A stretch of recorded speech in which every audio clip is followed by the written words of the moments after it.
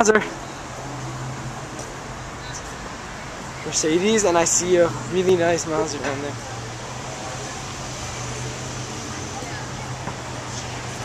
Gran Turismo, wow. Nice car.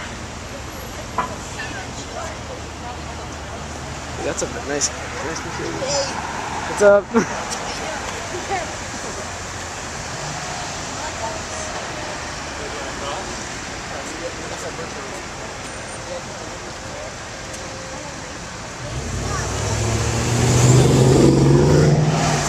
Uh, here we go.